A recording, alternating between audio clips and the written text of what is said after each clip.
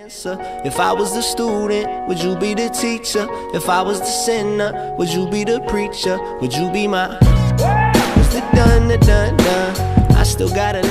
Alright, how's it going ladies and gents? It's Sporno here, and in today's uh, video I'm showing you guys how to get easy exotic engrams and the best place to farm them as of right now.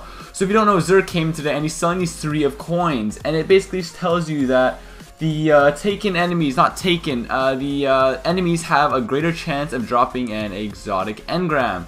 So what you want to go to want to do is go on to Scourge of Winter mission and when you're at Drakus, you're going to want to kill Drakus, but when you kill him, you're going to want to make sure you kill yourself. Doing so will cause you to end the mission and restart where Drakus, so you can basically just keep killing him until you get an exotic engram. Also, you're going to want to use the coins just before you get in the room, so it'll be in your inventory. So I want to go up to the coins as I will be doing in a second here. You'll see me using them which will cause you to then grant access to greater uh, drop rate. As you see there is an engram right there lying for me, an exotic one. Uh, these work, it doesn't work all the time, maybe once, it took me five times to do this one, but here I got an exotic primary, it's pretty awesome getting these. Uh, you can basically farm up a shit ton of stuff from here. You're going to want to use those three coins just before you go in the fight.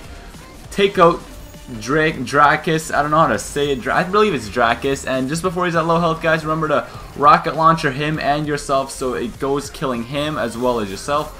Here's, I wanted to end it just to go and decrypt my engram, so I was like, screw it, I'm just to kill him anyway.